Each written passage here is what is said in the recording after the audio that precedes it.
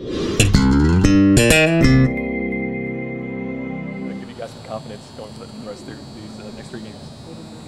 Uh, I wouldn't say the win gave us confidence. We always had confidence. We always knew what we can do. It was just a, just a mentality of fighting back and never giving up. And when you get, down by 14, how comfortable did y'all feel? Did you all know you were going to make a comeback? We, we just kept fighting. Um, we, we didn't start fighting. I know that's the th- theme of last week was the wit game, so whatever it take, and we, we made it, we made it happen. AJ, for the Alabama and South Carolina games, do you think your, this defense needed a break?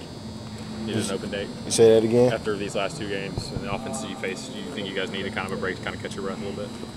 Uh, I wouldn't say we needed a break, but we got away from what we was doing early on in the season, getting people off the field on third down. We got away from that in the past two games. So we, this this off week this off week came at a good time. So we're gonna get stuff corrected and stuff like that, get everybody healed up. AJ, when you watch it on tape, do you do you think you guys look sluggish in any way? Do you look tired when you watch it on tape? Because you guys have played a, a ton of snaps, and it's not like there's a real rotation on the defensive side of the ball. Yeah, a couple guys banged up, so and there's a lot of communication and guys banged up. Is it more physically wore down, or you think mentally kind of toast? You need a mental break. Uh, I wouldn't say mental break from the game. It's just we probably could have commu- communicated better out there on the field than we did the past couple games, and guys banged up. AJ, when did you kind of get the uh, new addition to your hairstyle here? Uh, I did that Thursday night. What was the inspiration? Just Oh, I was just it just popped in my head, and I was like, I'm gonna do orange tips, and I did it. A little Halloween festivity. Uh, yeah, when I when I first got it, people was like, it's Halloween, it's Halloweenish. I'm like, I guess it was good timing when I decided, so it all played out. How, how much confidence do you guys as a team have now with the offense doing what it's doing? That maybe the pressure's not on you guys to, you know, keep teams down. I know you still want to get off the field and play great defense, Yeah. but is, can you relax a little bit because the offense is having some success? I wouldn't say we sh- we don't want to relax. We still want to be better than we was and pick up our game the most we can. But you know, Dog's been doing a tremendous job back there. But we just got to pick it up and help help the, help the offense more. You're a guy who loves to practice. Was today hard? You didn't get to do a lot, Uh, yeah, just getting my body right, treatment and stuff like that. so you weren't you weren't disappointed you didn't have to practice today. Yeah, um, I, I'm an older guy now, so I, I ain't gonna be like I want to go out and bang people at practice no more. I, I, I'd rather get my I'm want to be smart and get my body right and stuff. So I, I'm glad Coach Jones did that. He, he know he, he know what he's doing with the team, so get us fresh and ready to go for the next this next next game against Kentucky. How What do you is the schedule? it- I'm sorry. What is the schedule for you guys this week, the upperclassmen? I mean, are y'all going to be able to chill a little bit, like you said, be in the training room, or Yeah, just pretty much working out, getting our bodies getting our bodies right, treatment, go out and then go out back on the field, then come back in and work out and stuff like that and get treatment. Is, is it going to be hard to kind of keep the one game at a time approach? I mean, now you guys won this game, and there's bowl projections, and people are talking about if you win out and where you might go and all this other stuff. Is it, it?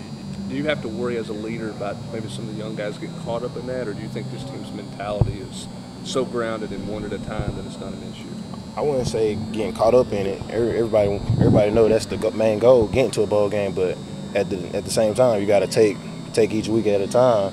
So we, we do we take each one each week at a time and get that win. We're gonna get to a bowl game, but we, we're gonna go to a bowl game. So that's the last thing we worry about. We're gonna make it to a bowl game. Anything stick out to you about Kentucky already? We watch a lot. Of, we watched film on, on them today. I don't want to say anything like stick out. It's just they got they got to run the quarterback as well and got a couple of formations, uh, run fits. You got to get fitted or they can gas you, but nothing, nothing, nothing crazy. You see the South Carolina game film? It sounded like they really stressed the run to get themselves back into the game against South Carolina and, and rally back. What do you see out of their backs and the, the athleticism they have? Uh, they, they got good backs. You know, they can make people miss, strong and big, fast. You're coming off a win like that. How do you keep that momentum going this week through practice? How do you, how do you keep up that energy after coming off such an emotional win? Just, just a routine. Every week is routine, but we got an off week, so we're gonna be able to have, have more mental week, get our bodies on fresh and ready for Kentucky. Was it the craziest you've seen in Tennessee locker room since you've been here? Yeah. we had a dance off in the locker room. It's probably one. It's, it's a great feeling. You know, that's that.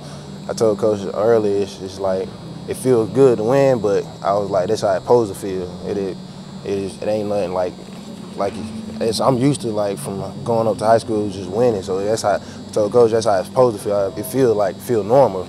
So that was a good feeling. AJ Kurtz, Kurtz had a piece. I don't know how many sacks he's had, but he's clearly making an impact for you guys defensively. Just kind of after what he's been through, and I know you're close to him. What does it mean, kind of to you, to see him having some success that he's had? Just I, I already knew he was gonna have success just by just by knowing, just working off from the off season and the spring ball, and he getting his body back and healthy and stuff, and like he had a huge play for us in the game this past week. Like should, he got off that ball so fast, like everybody else was frozen while he was in, in his motion and, and running. So he he a dynamic, player. He gonna make plays.